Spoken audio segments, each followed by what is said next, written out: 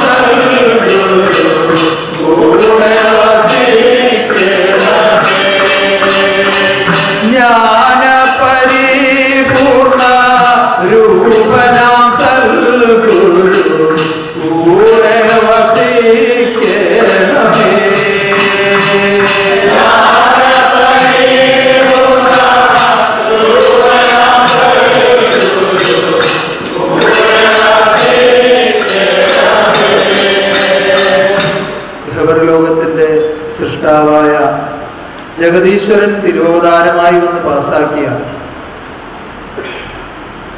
നിയമമാണ് നമ്മുടെ ഞായറാഴ്ച ആരാധന. ഈ ലോകത്തിൽ പലവിധത്തിലുള്ള ബുദ്ധിമുട്ടുകളും ഞെരുക്കങ്ങളും തടസ്സങ്ങളും ഒക്കെ സംഭവിച്ചിട്ടും മുടക്കം കൂടാതെ ജഗതീശ്വരൻ ഇത് നടത്തിക്കൊണ്ടേയിരിക്കുന്നു. അത് ഈശ്വരന്റെ നിയമവും കൽപ്പനയും ആയതുകൊണ്ടാണ് മുടക്കം കൂടാതെ നടക്കുന്നത്. അത് എന്നും നടത്തുവാൻ ലോകാന്ത്യം വരെ നടത്തുവാൻ ജഗദീശ്വരന്റെ മഹാകാരുണ്യം ഉണ്ടാകണമേ എന്ന് നമുക്ക് യാചിച്ച് പ്രാർത്ഥിക്കാം. ആ തിരുഹൃദയം എന്നും നിങ്ങൾക്ക് വേണ്ടി തുറന്നിരിക്കുകയാണ്. അതൊരിക്കലും അടച്ചിട്ടില്ല. അതുകൊണ്ട് തന്നെയാണ് നിങ്ങളൊക്കെ സുരക്ഷിതരായി ലോകത്ത് ജീവിക്കുന്നത്. ആരും അതിൽ സങ്കടപ്പെടേണ്ടത് ആവശ്യമില്ല. തിരുസന്നിധാനത്തിന്റെ ഈ മുൻപിലുള്ള ഗേറ്റ് മാത്രമേ അടച്ചിട്ടുള്ളൂ. ബാക്കിയുള്ള ഒന്നും അടച്ചിട്ടില്ല. അതെന്നും നിങ്ങൾക്കായി തുറന്നു തന്നെ പ്രവർത്തിക്കും.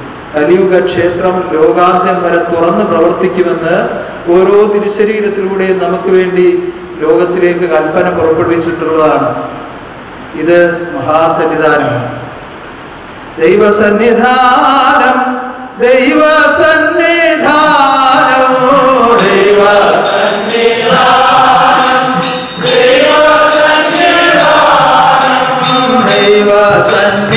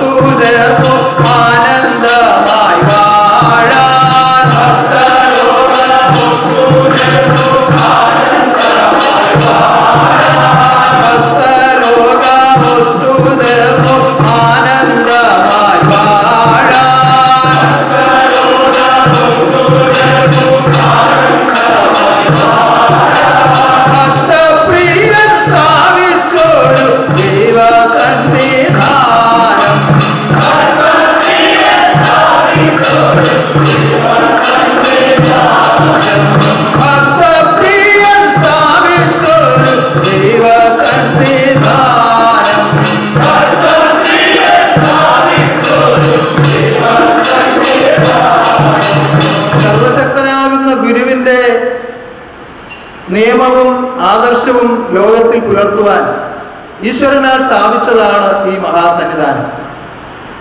കലിയുഗത്തിൽ ഖഡ്ഗിയായി അവതാരം ചെയ്ത് ലോകത്തിൽ ശുഭാനന്ദനാമത്തിൽ വാഴുന്നു എന്ന് ആത്മലോകത്തെ വിളിച്ചറിയിക്കുവാൻ സർവശക്തി തന്നെ തീരുമാനിച്ച് തിരഞ്ഞെടുത്ത് നിർമ്മിച്ച് ആത്മലോകത്തിന് വേണ്ടി നിലനിർത്തിയിരിക്കുന്ന സ്ഥാപനം. അതെന്നും ഭക്തലോകത്തിന് ഒത്തുചേർന്ന് ആനന്ദിക്കുവാൻ വേണ്ടി നിർമ്മിച്ചതാണ്. അവിടെ ഭക്തലോകർക്ക് നിഷിദ്ധമൊന്നുമില്ല. ലോകവശാൽ ഉണ്ടാകുന്ന ചില ബുദ്ധിമുട്ടുകൾ ചില നിയമങ്ങൾ. അതിനെ പാലിക്കേണ്ടത് ലോകത്ത് ജീവിക്കുന്ന സർവാത്മാക്കളുടെയും കടമയായതുകൊണ്ടാണ് നമ്മൾ അങ്ങനെ ഒരു തീരുമാനങ്ങളൊക്കെ എടുത്ത് ഇങ്ങനെയൊക്കെ ചുരുങ്ങിയ ആളുകളെ ഉൾപ്പെടുത്തിക്കൊണ്ട് ഈ ആരാധനകൾ നടത്തുന്നത്.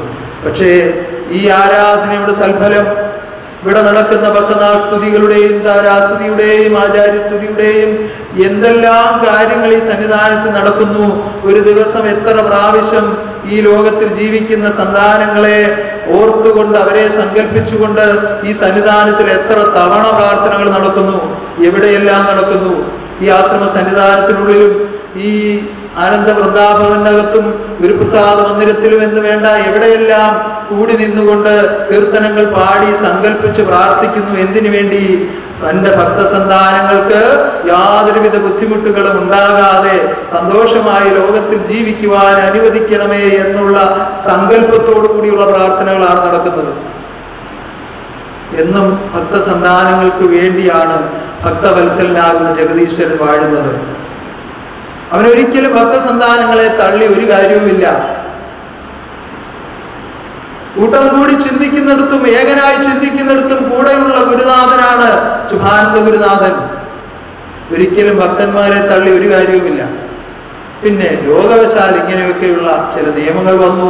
അതനുസരിച്ചല്ലേ പറ്റൂ. അതിലാരും വിഷമിക്കണ്ട. ഇത്രയും വേഗം എത്രയും വേഗം അതെല്ലാം മാറി. സന്താനങ്ങൾ ഒത്തൊരുമിച്ച് ചേർന്ന് ആനന്ദമായ ആരാധനകൾ നടത്താൻ വേണ്ടി കൊതിച്ചുകൊണ്ടാണ് ഞാനിവിടെ നിലകൊള്ളുന്നത്. വളരെ ആഗ്രഹത്തോടു കൂടി നിലകൊള്ളുകയാണ് എല്ലാവരെയും ഒത്തുചേർന്ന് ഒന്ന് കണ്ട് സന്തോഷിച്ച് പരസ്പരം സന്തോഷിച്ച് ആനന്ദമായ ആരാധനകൾ നടത്താൻ കൊതി പൂണ്ടാണ് ഞാനിവിടെ കഴിയുന്നത്. അത് ഓരോരുത്തരും അതും ചിന്തിക്കുന്നുണ്ട്. ഭക്തസന്താനങ്ങൾ എന്നെ ചിന്തിക്കുന്നുണ്ട്. ഞാൻ അവരെ അറിയുന്നുണ്ട്. അതെല്ലാം അതിന്റെ നിയമം അനുസരിച്ച് നടന്നുകൊണ്ടേയിരിക്കുകയാണ്. ഭക്തന്മാരെ വീണ്ടെടുക്കാൻ വന്ന ജഗദീശ്വരന്റെ നിയമങ്ങൾ. അത് പാലിച്ചു ജീവിച്ചാൽ ഭക്തവത്സലനാകുന്ന ജഗദീശ്വരൻ നിങ്ങളോടുകൂടി എപ്പോഴും ഉണ്ടായിരിക്കും. എപ്പോഴും ഉണ്ടായിരിക്കും. ഒരു ഒരു കാര്യത്തിന് മാറ്റി നിർത്തേണ്ടെന്ന് ആവശ്യമില്ല. എല്ലായ്പ്പോഴും എല്ലായിടത്തും ഭഗവാന്റെ സാന്നിധ്യവും കാരുണ്യവും ഉണ്ടാകും. എന്തു വേണം? ആശ്രയിച്ചിടുക ആരാധ്യരൂപനെ. ആശ്വാസം ആത്മാവിൽ കണ്ടെത്തുവാൻ. ഓരോരുത്തരും ആശ്രയിച്ച് എല്ലാവിധത്തിലും ആശ്രയിച്ച് എല്ലാം ആ തിരുമുമ്പാകെ അർപ്പിച്ച് ഒന്നും സ്വന്തമായി കരുതാതെ എല്ലാം എന്റെ ഈശ്വരന്റെ വകയാണ്. ഞാനായിട്ടൊന്നുമില്ലേ? എനിക്കായിട്ടൊന്നുമില്ലേ?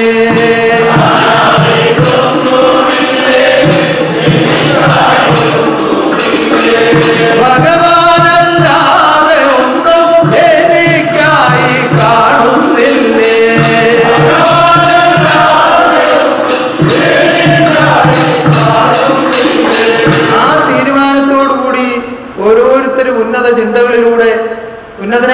ജഗദീശ്വരനെ അറിഞ്ഞ് ആരാധിച്ച് ജീവിതം ചെയ്യുക സർവശക്തി ഏവരെയും ദർശിച്ച് അനുഗ്രഹിക്കട്ടെ. ഉന്നതമായ നിലയിൽ നമ്മുടെ കർമ്മങ്ങളെല്ലാം നടത്തുവാനുള്ള ശേഷിയും മനഃശക്തിയും നിങ്ങൾക്ക് ഏവർക്കും ജഗദീശ്വരൻ ദാനം ചെയ്യട്ടെ. സ്വരൂപ സർവാജ്ഞാന സംഹാര രൂപ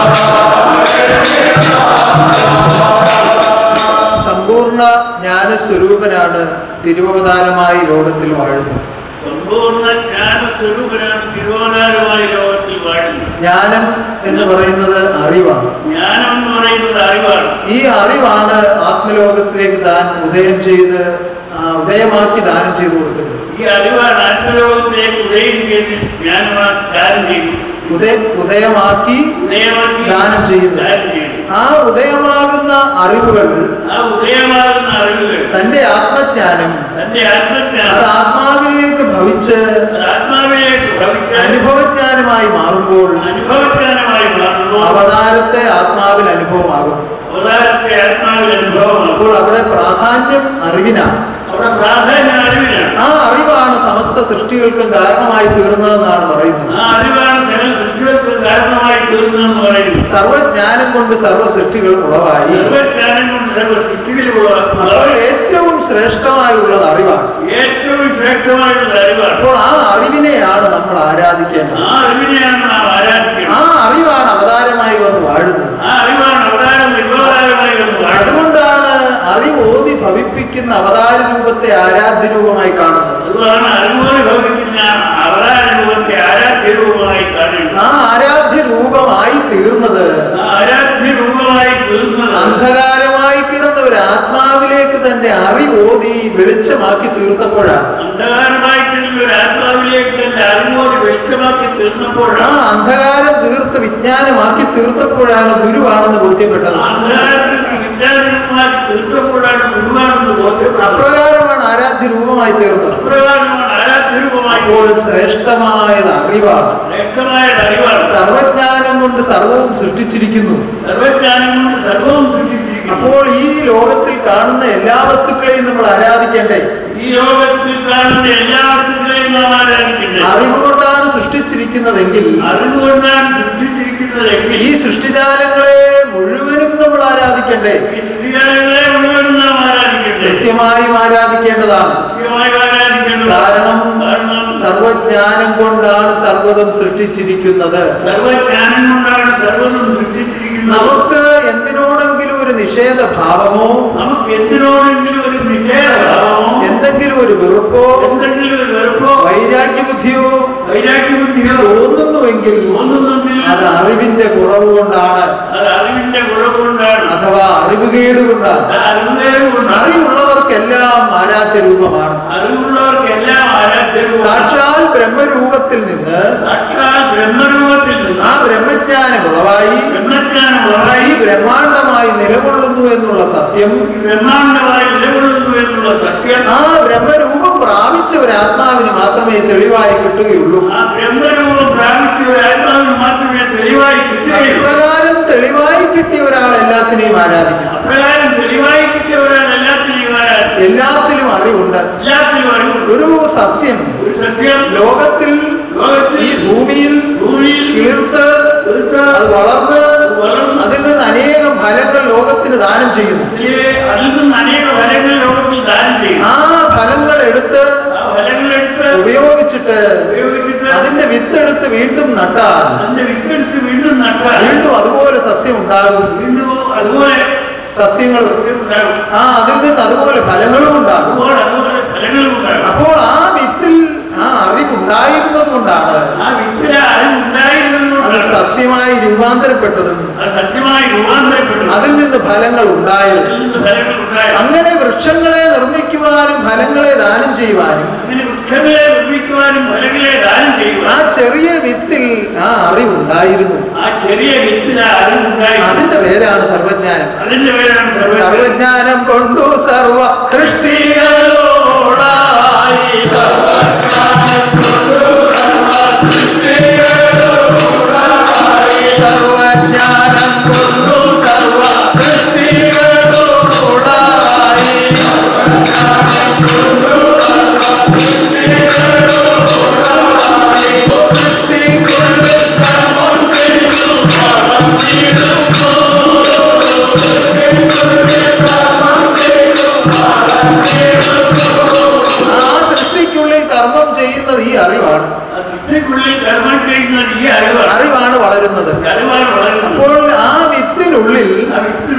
വൃക്ഷത്തെ നിർമ്മിക്കാനുള്ള അറിവുണ്ടായിരുന്നു. വൃക്ഷത്തെ നിർമ്മിക്കാനുള്ള അറിവുണ്ടായിരുന്നു. അതിനെ വളർത്തിയെടുക്കാനുള്ള അറിവുണ്ടായിരുന്നു.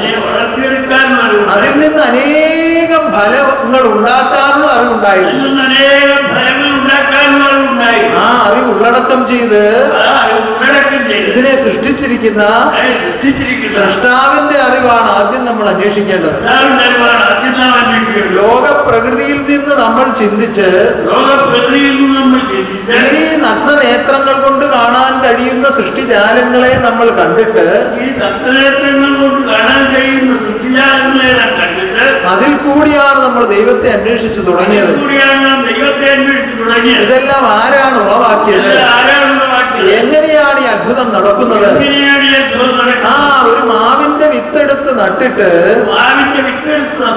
ആ ഒരു പ്രാവുണ്ടാകണമെന്ന് ഒരാൾ തീരുമാനിച്ച് എത്ര പ്രാർത്ഥിച്ചാലും ഒരാൾ വിചാരിച്ചുകൊണ്ട് എത്ര പ്രാർത്ഥിച്ചാലും ഒരു പ്ലാൻ ഉണ്ടാകണം എന്ന് ചിന്തിച്ച് എത്ര പ്രാർത്ഥിച്ചാലും ജീവിതത്തിലും ഉണ്ടാകില്ല. മാവ് തന്നെ ഉണ്ടാകില്ല കാരണം കുഴിച്ചിട്ടത് മാവിന്റെ വിത്താണ്. ആ അതുകൊണ്ട് മാവേ ഉണ്ടാവുകയുള്ളൂ. ഇതുപോലെ അത്ഭുതകരമായ പ്രവർത്തനങ്ങൾ ലോകത്തിൽ നടക്കുന്നത് ഇതുപോലെ അത്ഭുതകരമായ പ്രവർത്തനങ്ങൾ ലോകത്തിൽ നടക്കുന്നത് ആ അറിവ് അതിൽ ഉള്ളടക്കം ചെയ്തിരിക്കുന്നത് കൊണ്ടാണ്. അവിടെ അറിവുകേട് സംഭവിക്കുന്നില്ല. അറിവ് തന്നെ കർമ്മം ചെയ്ത് വളർന്നുയരുകയാണ് അങ്ങനെ സൃഷ്ടിജാലങ്ങളിലൂടെ ആ സൃഷ്ടിജാലങ്ങളിലൂടെ ഇതുപോലെ കർമ്മം ചെയ്ത് കർമ്മം ചെയ്ത് കർമ്മം ചെയ്ത് ഇതുപോലെ കർമ്മം ചെയ്ത് കർമ്മം ചെയ്ത് കർമ്മം ചെയ്ത് അറിവ് വളർന്ന് വളർന്ന് വളർന്ന് വന്നാണ് ഇന്ന് നിങ്ങൾ രൂപാന്തരപ്പെട്ട് മർത്യജന്മങ്ങളായി ലോകത്തിൽ നിലകൊള്ളുന്നത്? ഓ ഒരു അണുവായി തുടങ്ങിയ ജന്മങ്ങളാണ്. ജന്മങ്ങളായി തുടങ്ങിയ ജന്മങ്ങളാണ്. അവിടെ നിന്ന് വളർന്നു വളർന്നു വളർന്നു വന്ന് അതിൽ നിന്ന് വളർന്നു വളർന്നു വളർന്നു വന്നാൽ അതിന്റെ അറിവിന്റെ വളർച്ചയ്ക്ക് അനുസരിച്ച് പുതിയ ഉപകരണങ്ങൾ നിങ്ങൾക്ക് തന്ന് അതിന്റെ അറിവിന്റെ വളർച്ചയ്ക്ക് അനുസരിച്ചുള്ള പുതിയ ഉപകരണങ്ങൾ അങ്ങനെ ഈ വന്നാൽ മർത്യജന്മങ്ങളാക്കി തീർത്തിരിക്കുന്നത് ഈശ്വരൻ തന്നെയാണ്. ആ അവരവർ അവരവരെ കൊണ്ട് പല വിധത്തിലും അഹങ്കരിക്കുകയും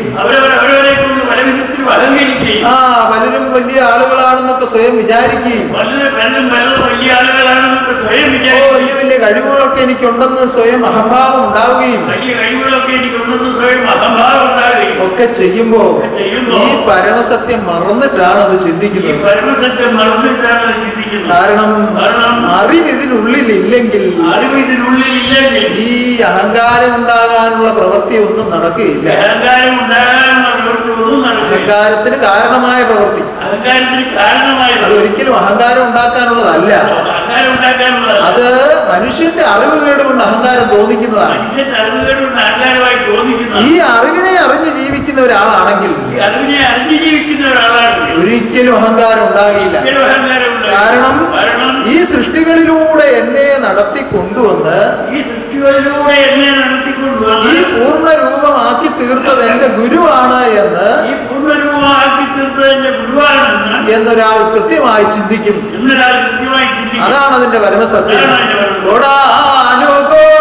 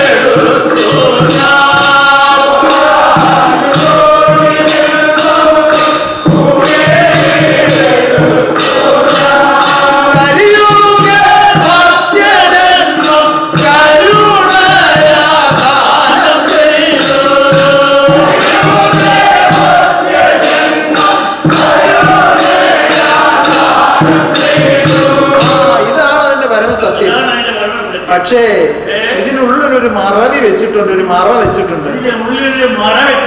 ആ മറ കൊണ്ട് ആ മറ കൊണ്ട് മുജ്ജന്മങ്ങളെ കുറിച്ച് ആർക്കും ഒരു ബോധ്യവുമില്ല. ജന്മങ്ങളെ കുറിച്ച് ആർക്കും ഒരു ബോധ്യവുമില്ല. പക്ഷേ സർവജ്ഞാനത്തിന്റെ ഉടമസ്ഥനാകുന്ന ഗുരുവിന് അത് ബോധ്യമുണ്ട്. അതുകൊണ്ടാണ് പറഞ്ഞത് കോടാനുകോടി ജന്മം നിങ്ങൾ എടുത്തിട്ടുണ്ട് അതുകൊണ്ടാണ് ആ ജന്മമെടുത്ത് കർമ്മം ഒടുക്കി ഈ പ്രകൃതിയിലൂടെ ഈ സൃഷ്ടികളിലൂടെ പൂർണരൂപത്തിലേക്ക് എത്തി നിൽക്കുമ്പോൾ എന്ത് കണ്ടിട്ട് അഹങ്കരിക്കാനാണ്? ആരെ കണ്ടിട്ട് അഹങ്കരിക്കാനാണ്? അഹങ്കരിക്കാൻ അഹങ്കാരം അകറ്റുന്ന അറിവ് അകതാരിൽ ഉണ്ടാകാതെ അഹങ്കാരം അകറ്റുന്ന അറിവ് അകലാരിൽ ഉണ്ടാകാതെ ഒരിക്കലും ആർക്കും ഉയരാൻ പറ്റുകയില്ല. ആ നിസാരമായ കാര്യങ്ങൾ കണ്ടുകൊണ്ട് അഹങ്കാരം ആത്മാവിൽ ഉണ്ടായാൽ നിന്നെ കൊണ്ട് ഈ ലോകത്തിൽ പ്രവർത്തിപ്പിക്കാൻ തീരുമാനിച്ചിരുന്ന ഉന്നതമായ കർമ്മങ്ങൾ നടക്കാൻ ഇടയില്ലാതെ പോകും. നിന്നെ കൊണ്ട് ഉത്തമമായി പ്രവർത്തിക്കുവാൻ പ്രവർത്തിപ്പിക്കുവാൻ വിചാരിച്ച പലതും നടക്കാൻ ഒക്കാറുണ്ട്. ആ ഉന്നത കർമ്മങ്ങൾ നിന്നെ കൊണ്ട് നടക്കാൻ ഒക്കാതെ ആ ഉന്നത കർമ്മങ്ങൾ നിന്നെ കൊണ്ട് നടക്കാൻ ഒക്കാറുണ്ട്. ആ അതിനുള്ള പ്രാപ്തി നിന്നിൽ നിന്ന് നഷ്ടമായി അതിനുള്ള പ്രാപ്തി നിന്നിൽ നിന്ന് നഷ്ടമായി ആ കടുവോളം കളങ്കം നിന്റെ അകമേ വരാതെ. കടുവോളം കടകത്തിന്റെ അകമേ വരാതെ. ആ അണുവിൽ മാത്രം പോലും അഹങ്കാരം നിന്നിൽ കടന്നു വരാതെ. മാത്രം പോലും അഹങ്കാരം നിന്നിൽ കടന്നു വരാതെ കരുതി സൂക്ഷിച്ച് ജീവിക്കുന്ന ഒരു പ്രത്യേക ജീവിതം. ആ സൽഗുരുവുമായി ചേർന്ന് ആരാധിച്ചും ആശ്രയിച്ചും ജീവിക്കുന്ന ഒരു ജീവിതം. ആ ജീവിച്ചെങ്കിൽ മാത്രമേ നിനക്ക് ഉന്നതനാകാൻ പറ്റുകയുള്ളൂ. ആ ലോകവശാലനേകം സമ്പാദ്യങ്ങൾ ഉണ്ടാക്കുന്ന ഉന്നതി അല്ല ലോകവശാലനയും സമ്പാദ്യമൊന്നും ഉണ്ടാക്കുന്ന ഉന്നതിയല്ല ആ പരമോന്നതനാകുന്ന പരമഗുരുവുമായി ചേർന്ന് പരമാനന്ദത്തിലെത്താനുള്ള ഉന്നതി.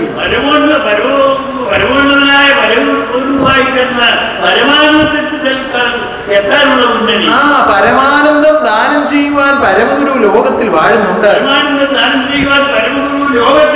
ആ ഇതിനുള്ളിലെല്ലാമായി അധിവസിക്കുന്നത് ആ ഗുരുരൂപം തന്നെയാണ്. നിന്നിലേക്ക് ആ അറിവിനെ രൂപാന്തരപ്പെടുത്തി എടുത്തു കഴിഞ്ഞാൽ നിനക്ക് ഓരോന്നിലും ആ ഗുരുരൂപത്തെ കാണാൻ കഴിയും. ആ കാണുന്നതും കേൾക്കുന്നതും അറിയുന്നതും എല്ലാം ഗുരുരൂപം തന്നെ. ഓ എവിടെ തിരിഞ്ഞൊന്നു നോക്കിയാലും ഗുരുവിന്റെ പൊന്മുഖം തന്നെ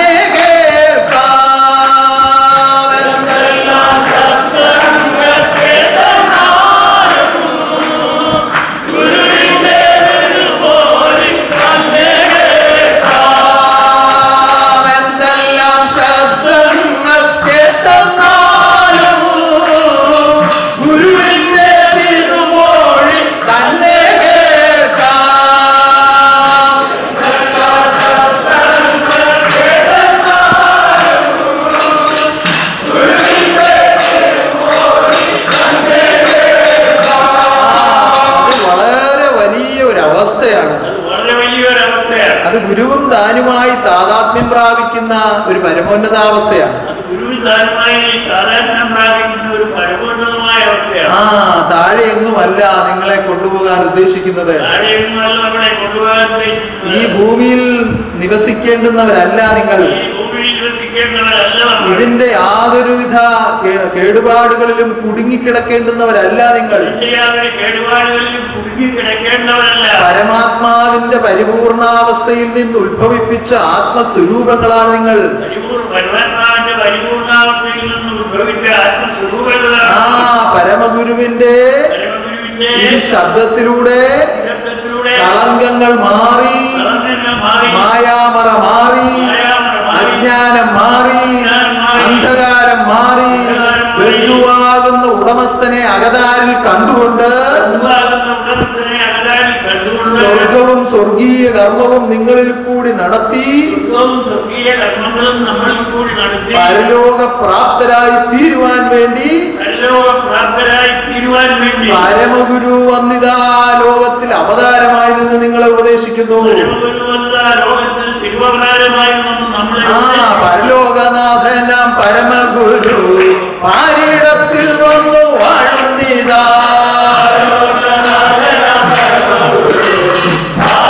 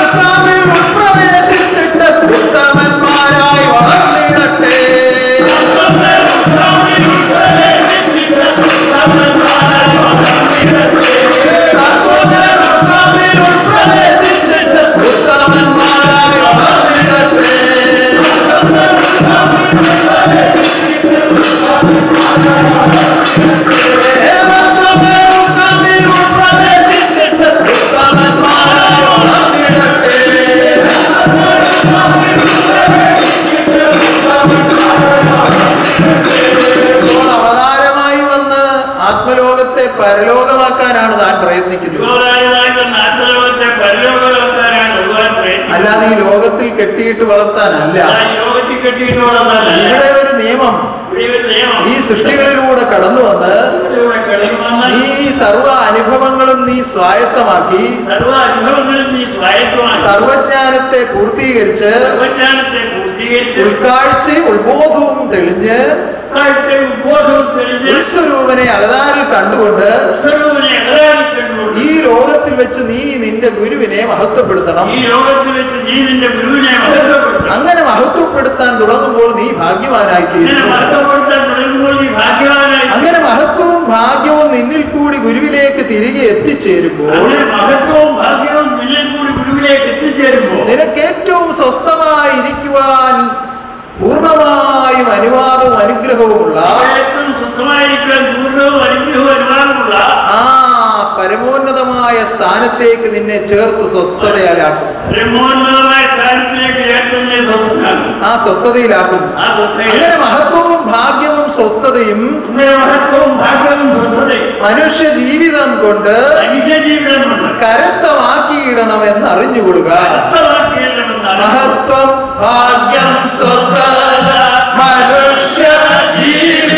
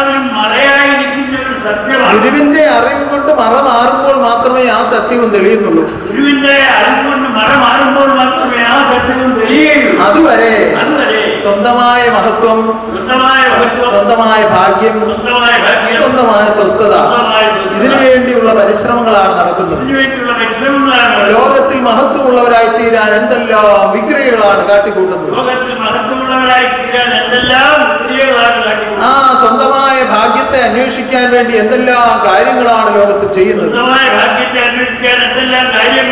എത്രയോ ലക്ഷക്കണക്കിന് രൂപയാണ് ഓരോരുത്തർ ഭാഗ്യ പരീക്ഷണം ചെയ്ത് നഷ്ടപ്പെടുത്തുന്നത്. ലോകത്ത് ആ ഭാഗ്യ പരീക്ഷണം നടത്തുക അനേകം സമ്പത്ത്. ആ അവന്റെ ജന്മവും ജീവിതവും കൊണ്ട് സമ്പാദിച്ച ലോകധനം. അവന്റെ ജന്മവും ജീവിതവും ലോകത്തിൽ സമ്പാദിച്ച ലോകത്തിൽ നഷ്ടപ്പെടുത്തിക്കൊണ്ടാണ് ഭാഗ്യപരീക്ഷണം നടത്തുന്നത്. കാരണം അവന്റെ ഉള്ളിൽ എവിടെയോ ആ ഭാഗ്യത്തെ കുറിച്ച് ഒരു അറിവുണ്ട്. അവന്റെ ഉള്ളിൽ എവിടെയോ ഭാഗ്യത്തെ അവന്റെ ഉള്ളിൽ എവിടെയോ മഹത്വത്തെ കുറിച്ചൊരു അറിവുണ്ട്. അവന്റെ ഉള്ളിൽ സ്വസ്ഥതയ്ക്ക് വേണ്ടി ഒരു ആർത്തിയുണ്ട്. പക്ഷെ അത് എവിടെ എങ്ങനെ എന്ന് അവന് തിരിച്ചറിവില്ല. ആ അറിവ് കൊടുക്കാനാണ് അറിവജ്ഞനായ ജഗദീശൻ അവതാരമായി വന്നത്. ആ അറിവ് കൊടുക്കുമ്പോൾ ഈ മായാമറ മാറും. ആ മായാമറ മാറുമ്പോൾ എന്റെ ആത്മാവിൽ ഞാൻ അനുഭവിക്കേണ്ടതാണിത്. അത് എന്റെ ഗുരുവിന് തിരികെ കൊടുക്കേണ്ടതാണ്. ആ ഗുരു എന്നെ ചുമതലപ്പെടുത്തി വിട്ട ജോലിയാണിത്. ആ സത്യധർമ്മം പുലരട്ടെ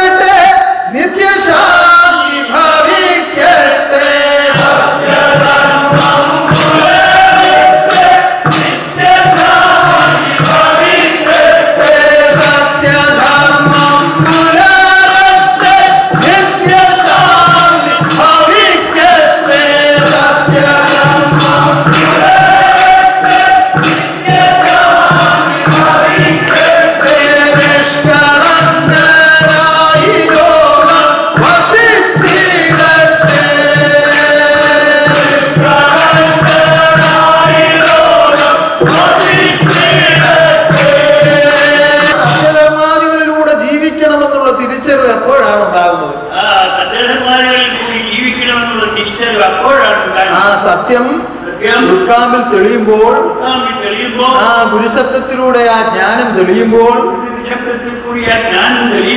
പ്രകാശം ഉണ്ടാകുമ്പോൾ സത്യധർമ്മം പുലർത്തുന്നു. നിത്യശാന്തി അനുഭവമാകുന്നു. നിഷ്കളങ്ക സ്വരൂപനുമായി ചേർന്ന ആത്മാവ് സ്വസ്ഥനായി കഴിയുന്നു.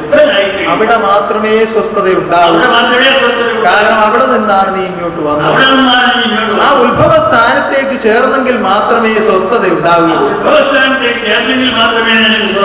അല്ലാതെ ഒരു വിധത്തിലും നിനക്ക് സ്വസ്ഥത ഉണ്ടാവില്ല എന്തെല്ലാം ലോകത്തിൽ സമ്പാദിച്ചാലും എത്ര പ്രശസ്തി ഉണ്ടാക്കിയാലും എത്ര സുഹൃത്തുക്കളെ സമ്പാദിച്ചാലും എത്ര മക്കളുണ്ടെന്ന് പറഞ്ഞാലും എന്തെല്ലാം ജീവിത സൗഭാഗ്യങ്ങളുണ്ടെന്ന് പറഞ്ഞാലും സ്വസ്ഥനായിരിക്കണമെങ്കിൽ മഹാസ്വസ്ഥനാകുന്ന ഗുരുവിങ്കിലേക്ക് ചേരണം. ആ ഗുരുവിലേക്ക് ചേരുവാൻ അറിവിൽ കൂടി നീ ജീവിക്കുക. സത്യധർമാദികൾ പുലർത്തുക. നിഷ്കളങ്ക സ്വരൂപനാകുന്ന ഈശ്വരനെ അറിഞ്ഞ് ആരാധിക്കുക.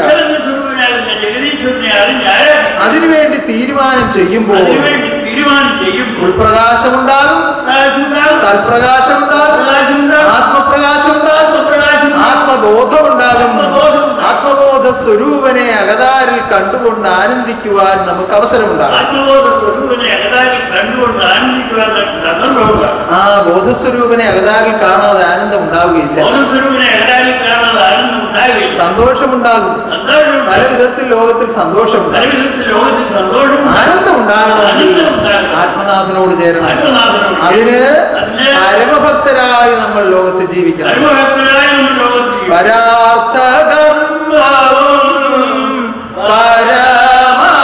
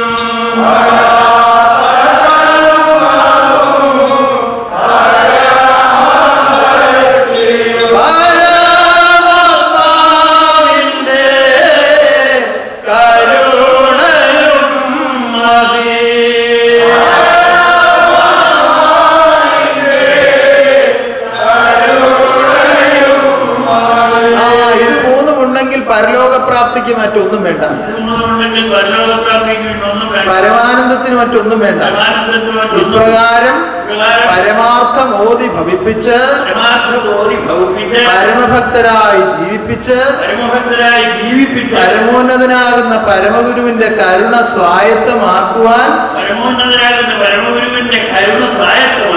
തക്കവിധത്തിൽ നിങ്ങളെ ഉപദേശിച്ചുകൊണ്ട് ലോകത്തിൽ പ്രത്യക്ഷമായി വാഴുന്നത് ഗുരുവാണെന്ന് നിങ്ങൾ തിരിച്ചറിയുക. ആ അറിവിനെ അംഗീകരിക്കുക. ആ അറിവിനെ ആചരിക്കുക. ആ അറിവിനെ ആശ്രയിക്കുക. അറിവേ എന്റെ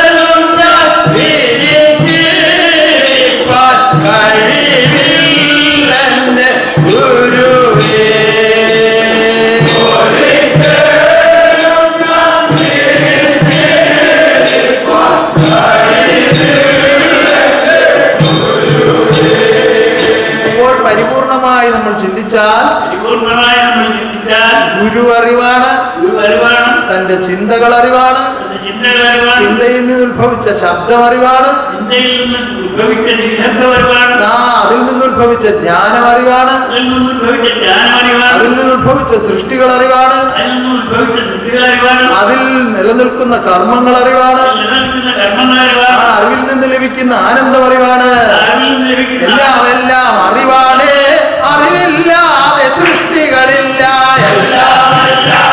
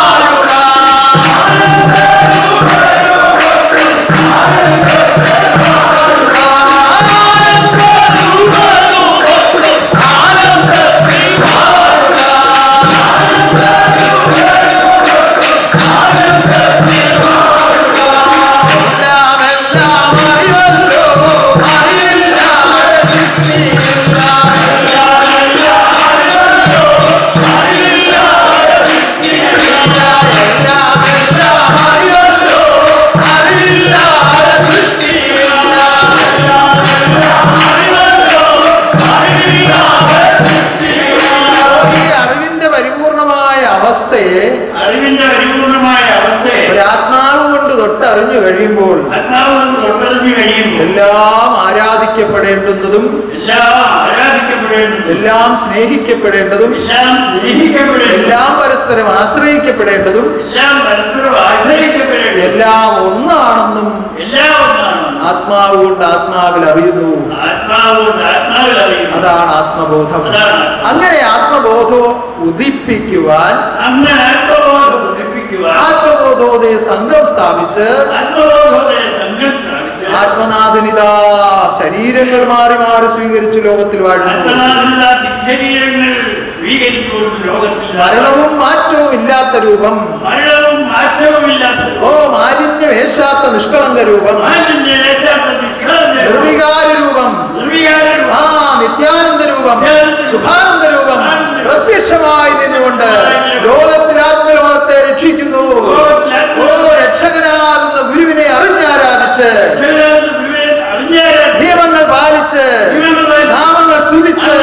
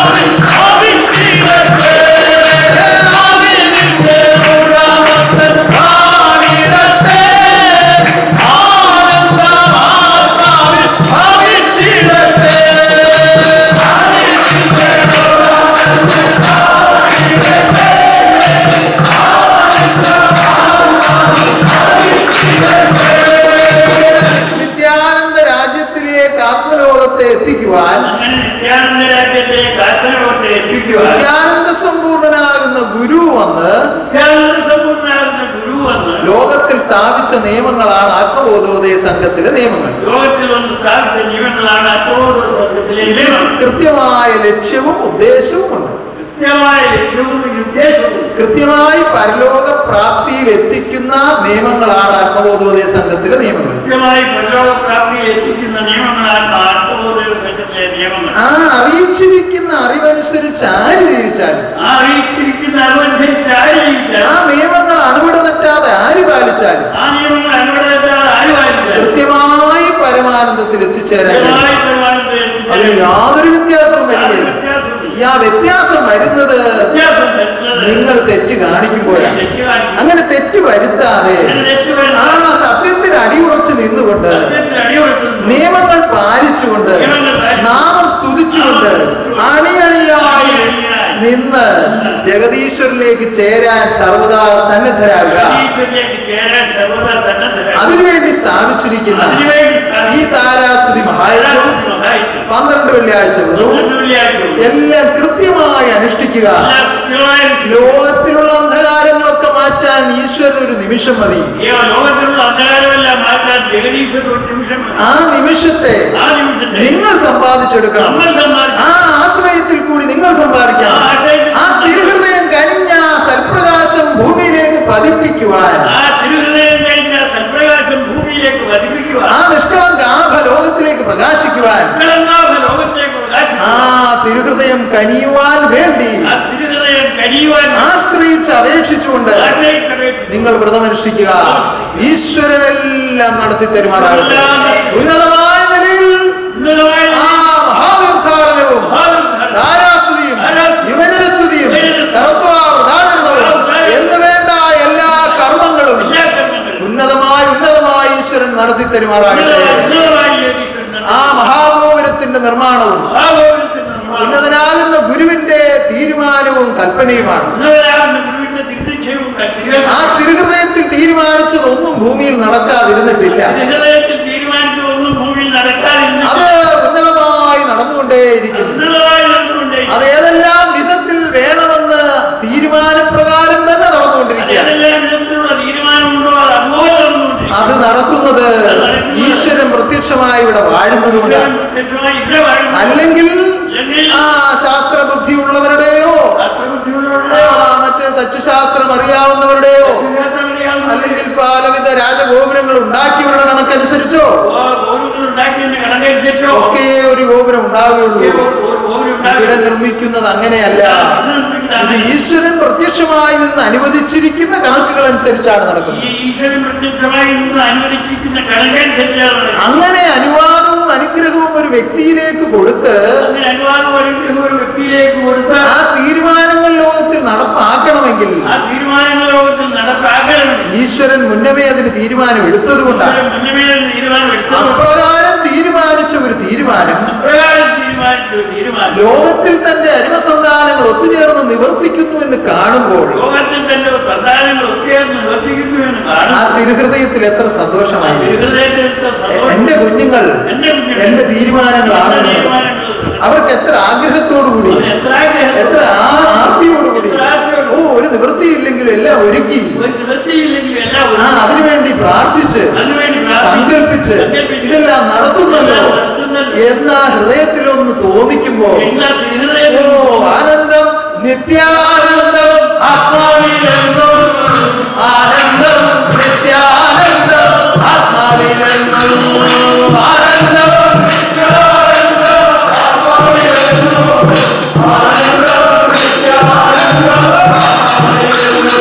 നമുക്ക് ഈ ഒരു ദുർഘടമായ ഒരു അവസ്ഥ തുടങ്ങിയതിനു ശേഷം ഈ കൊറോണ എന്ന രോഗം ലോകത്തിലേക്ക് പടർന്നു പിടിച്ചു തുടങ്ങിയതിനു ശേഷം ഇവിടെ വന്നു ചേരാൻ നിവൃത്തിയില്ലാതെ ഭവനങ്ങളിൽ ഇരിക്കുന്ന അനേകങ്ങളുണ്ട് ആ പല ആളുകളും ഫോണിൽ വിളിക്കും.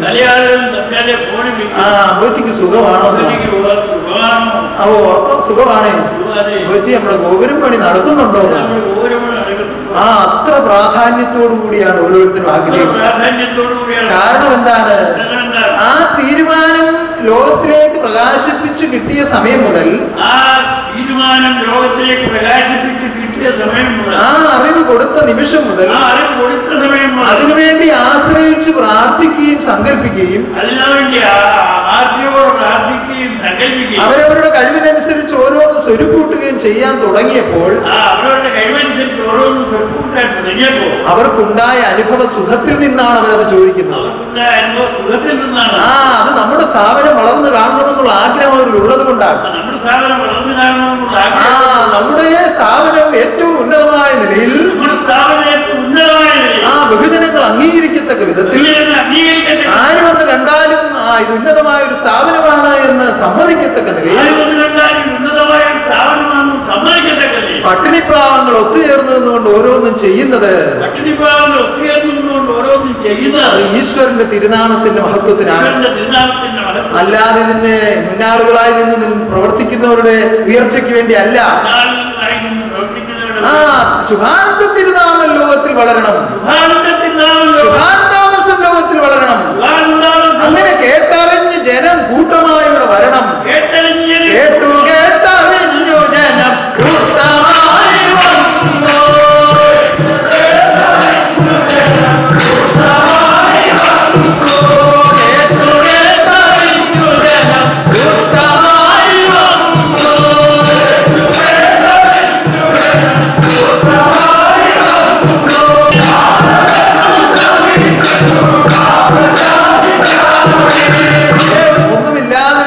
സമയം മുതൽ എന്റെ അരുമ സന്താനങ്ങൾ ഓരോന്ന് ഓരോന്ന് ഓരോന്ന് കൊണ്ടുവന്ന് സ്വരുക്കൂട്ടി. ആ കാണുന്നതെല്ലാം. ഉണ്ടാക്കി എടുത്തതാണ് ഈ കാണുന്നത്. ഇത് എന്റെ സന്താനങ്ങളുടെ വകയാണ് അത് ഇനിയും ലോകത്തിൽ ജനിച്ചു വരുവാനുള്ളവർക്ക് കൂടി. കാണുവാനും, അറിയുവാനും അനുഭവിക്കുവാനും തക്ക വിധത്തിൽ ഓരോന്നൊരുക്കി ഓരോന്ന് ഒരുക്കി വെച്ചിരിക്കുന്നത് ഇത് കണ്ട് ആരും അസൂയപ്പെട്ടിട്ട് ഒരു കാര്യമില്ല ഇത് ഈശ്വരന്റെ വാഴ്ചയുടെ ഫലമാണ് ഈശ്വരൻ മാറാതെ ഇവിടെ നിലകൊള്ളുന്നത് കൊണ്ടാണ് മാറ്റവും മരണവും മരണവുമില്ലാത്ത ഗുരുവിന്റെ അധിവാസം കൊണ്ടാണ്. ആ അധികാര പുരുഷൻ അധിവാസം ചെയ്തുകൊണ്ട് തന്റെ അവകാശങ്ങൾ ലോകത്തിൽ നടപ്പാക്കുമ്പോൾ. അസൂയപ്പെട്ടിട്ട് ഒരു കാര്യമില്ല ഓ എന്തെല്ലാം വിക്രികൾ കാട്ടിയിട്ട് ഒരു കാര്യമില്ല എല്ലാം തകർത്ത് മുന്നേറുവാൻ കഴിവുള്ളവനാണ് ശുഭാനന്ദ ആ ഒന്നുമില്ലാത്ത സമയത്ത് പോലും. ആ പത്തിരുപത് ബസ്സും. ദിവസം ആ പത്ത് പതിനെട്ട് ലോറിയും. മൂന്ന് നാല് ജീപ്പും. ഒക്കെ സ്വന്തമാക്കിയ ആളാണ് ശുഭാനന്ദ ഗുരുദേവൻ അത് കുബുദ്ധികൾ അതൊക്കെ നഷ്ടപ്പെടുത്തിയെങ്കിലും എല്ലാം സമ്പാദിക്കാൻ കഴിവുണ്ടെന്ന് അന്നേ തെളിയിച്ചിരുന്നവനാണ്. അങ്ങനെ ആത്മാക്കളിൽ കൂടി ആത്മബോധോദയ സംഘത്തെ വളർത്തി അനേകത്തിലേക്ക് അനേകങ്ങളിലേക്ക് ആദർശം പകർത്തി.